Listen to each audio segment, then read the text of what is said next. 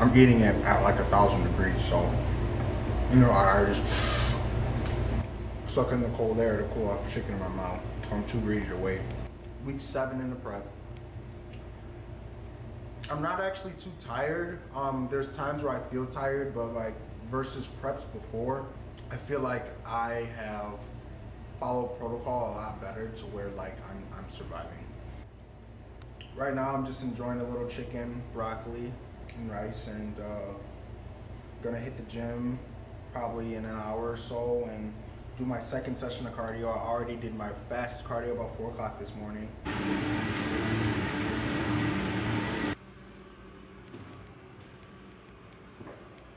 I trained at about nine, and uh, my coach says after one o'clock, I can start my evening cardio. So, you know, it's it's it's it's all just work. We all just put in some work, baby. So I know I have not been on YouTube in like maybe a week and a half. It hasn't been too long, but I've been trying to get a lot of other things focused as far as lining up what I'm gonna record. Um, having my my personal videographer here record me and doing everything that I really want to capture on camera to show you guys a more in-depth experience. So I really think that you guys are going to enjoy the videos I have coming out. Um, I'm going to try and share some of my knowledge, some tips, some fun stuff, and watch my subscribers grow. Cheers. So, as you can see, I'm looking pretty rough. So we're going to get a haircut. At this haircut, you know what I'm saying? We're going to the ghetto. I get my haircut in the ghetto because I feel like that's the only real place in Michigan to get your haircut is the ghetto.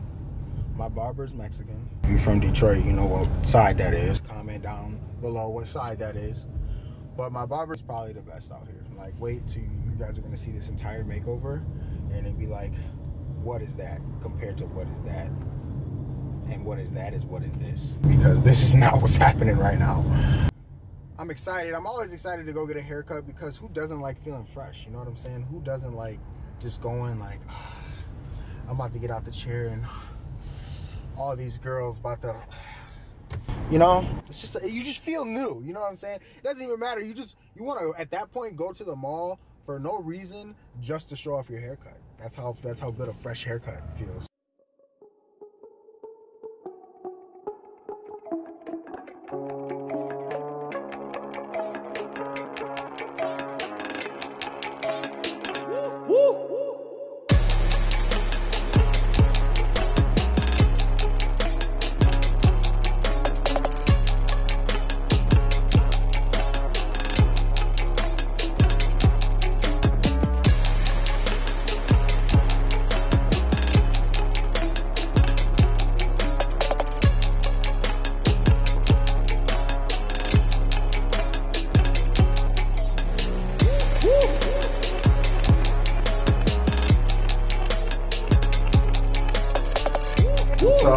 I'm in the middle of my day, and normally I get my homework done around this time.